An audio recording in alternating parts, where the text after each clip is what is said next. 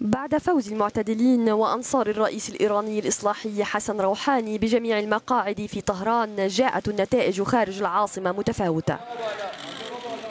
النتائج أظهرت تغيرا في صفوف الناخبين إذ تحولوا من التصويت لصالح المرشحين المتشددين إلى المرشحين المعتدلين.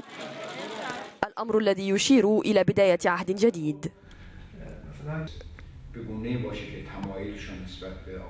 على الرغم من که اصلاح طلب ها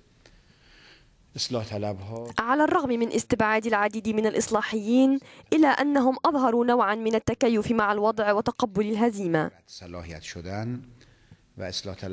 المواطنون يحملون في ثنايا صدورهم ذكريات طيبة لحركة الإصلاحيين.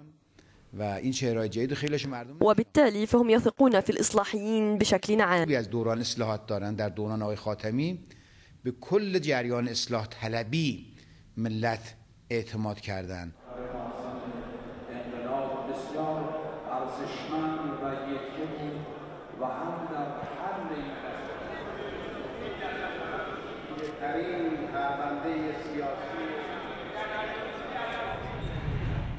بعد فوز المعتدلين بخمسة وتسعين مقعدا بالمجلس تأتي الجولة الثانية للانتخابات في شهر أبريل المقبل. يمكن القول بأن هذه النتيجة تعتبر انتصارا مؤكدا للمعتدلين والإصلاحيين. البرلمان يستطيع اليوم دعم روحاني وإجراء الإصلاحات الاقتصادية والسياسية وتوسيع دائرة العلاقات مع دول الغرب لجذب الاستثمارات الاقتصادية إلى إيران. تهران.